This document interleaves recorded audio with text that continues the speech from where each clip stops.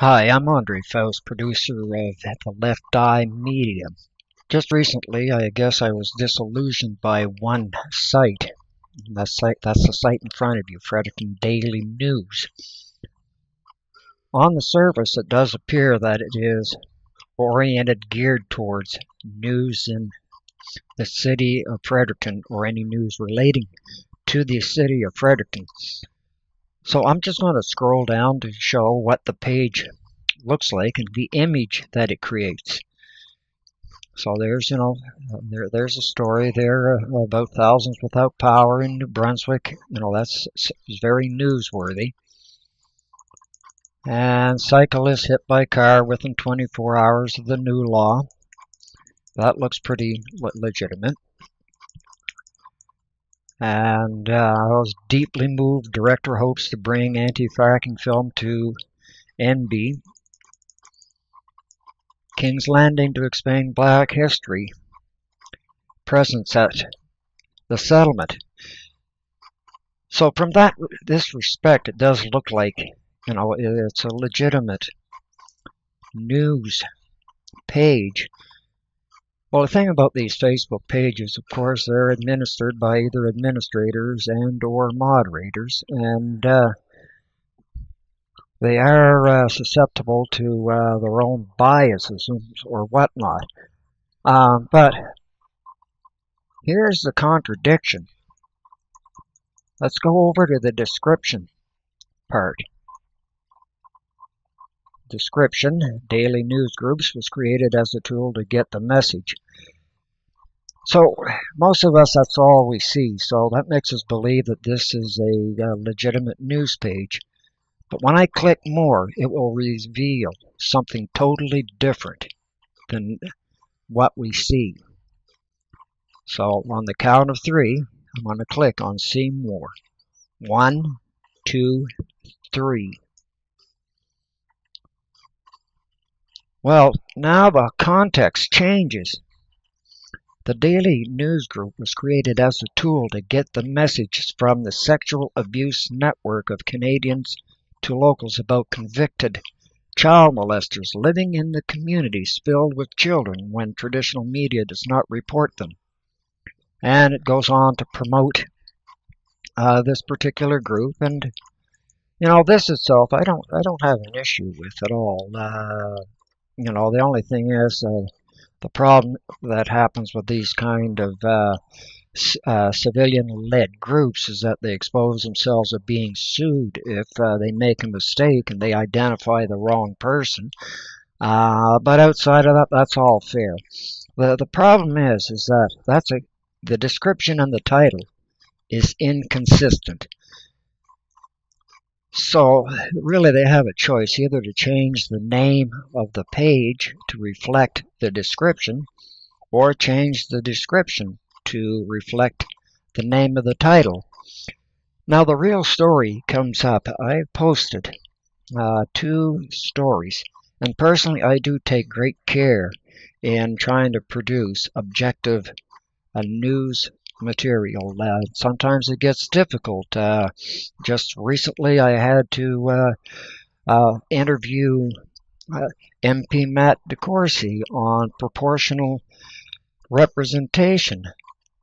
Now, I'm a member of the Liberal Association. That was difficult. Uh, to do because as being a liberal I should be pulling the party line but uh, but in my role of uh, uh, of the left eye, I had to be objective.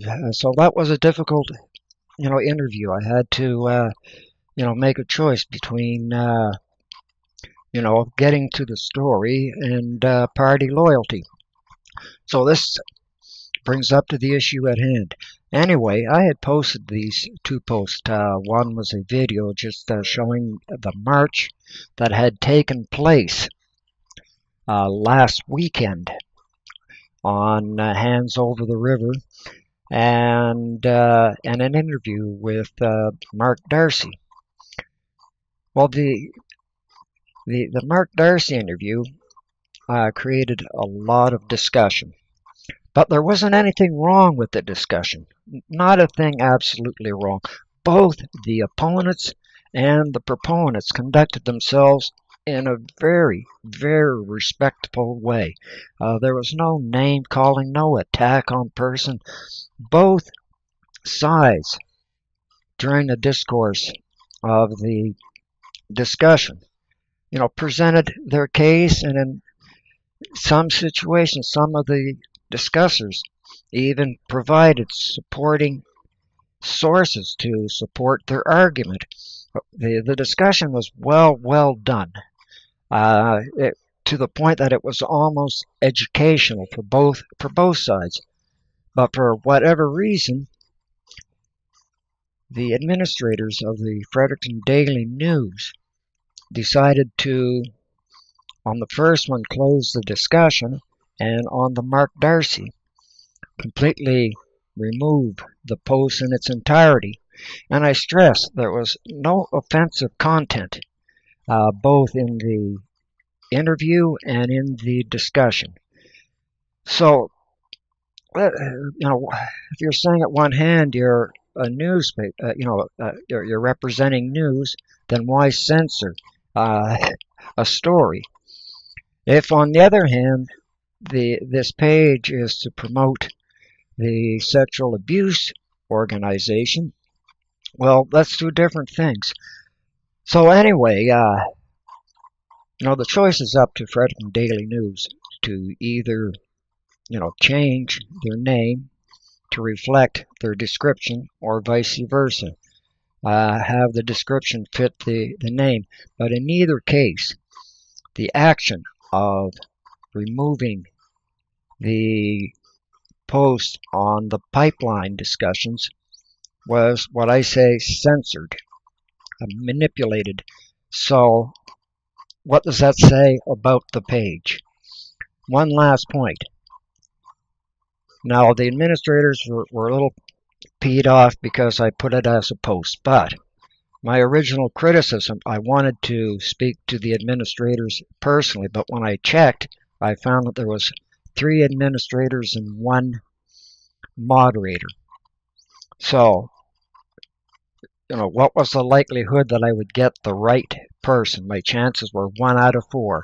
So with those odd, I took the safe route and uh, posted it on their page. Uh, there was a brief discussion, and uh, anyway, one of the uh, moderators asked me a question.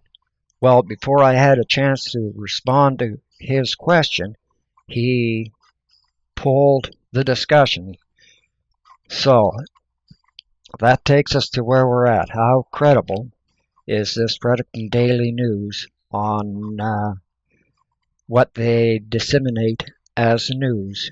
Do they only disseminate uh, alt-right news? Uh, are they biased? Uh, you be the judge. Thank you for taking the time. Andre Faust for the Uh, left Eye Rebel Media, or excuse me, boys, Rebel, Left Eye Rebel, the Left Eye Media. Thank you very much.